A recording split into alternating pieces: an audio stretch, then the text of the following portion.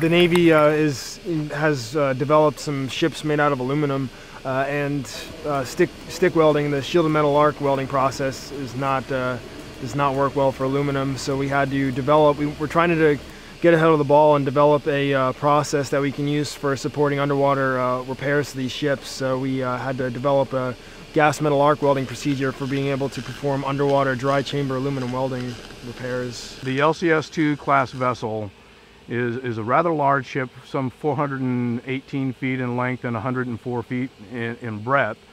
dry docking this vessel is extremely expensive. Placing the blocks in the dry dock in the exact locations is time consuming and, and laborious. If the Navy can repair a hull without the need of dry docking, that's the best choice.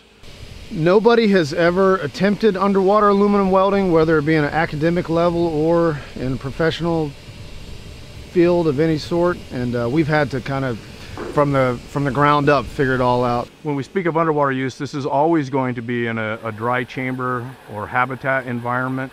It's about six feet tall by four foot wide, uh, four foot deep, and we are welding at 23 feet of seawater because aluminum is so susceptible to moisture, we're actually mitigating the atmosphere within that dry cofferdam or habitat. The number one problem we have is what's called porosity in the weld, and essentially that's just gas being trapped in the weld, and it shows up as bubbles in an x-ray, and they're little gas voids in the weld, and too much of it can lower the strength of a weld. A lot of companies didn't want to get involved with this type of work, and, and uh, you know, it, it I guess imposed a little bit of risk on the company that they were going to have to lend us some equipment before we were to buy anything. Uh, Lincoln was very friendly and, and uh, allowing us to uh, actually borrow for months, borrow some equipment and doing our initial testing.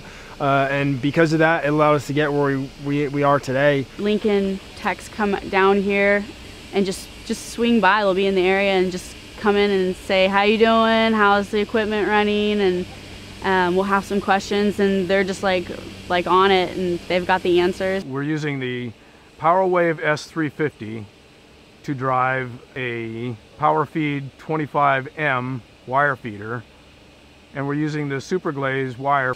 We're using right now what's called the Power Mode 40 and essentially the, the parameters came from Lincoln. Welders can now concentrate on, on their bead profiles rather than thinking about what they have to do that a machine cannot do for them, voltage and, and amperage controls and wire stick out length, all of these factors come into play and the Lincoln machinery is, is uh, well suited to some very technical welding.